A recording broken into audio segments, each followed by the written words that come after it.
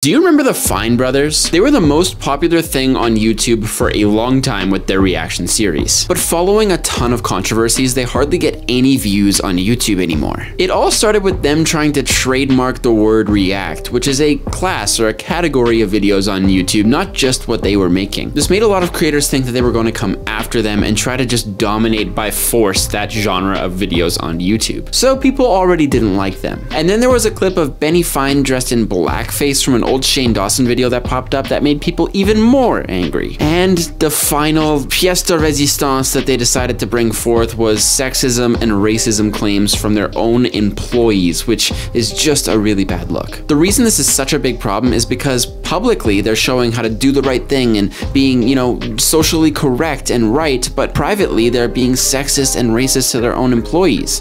It's just pure hypocrisy. What do you think of the Fine Brothers? Let me know down below.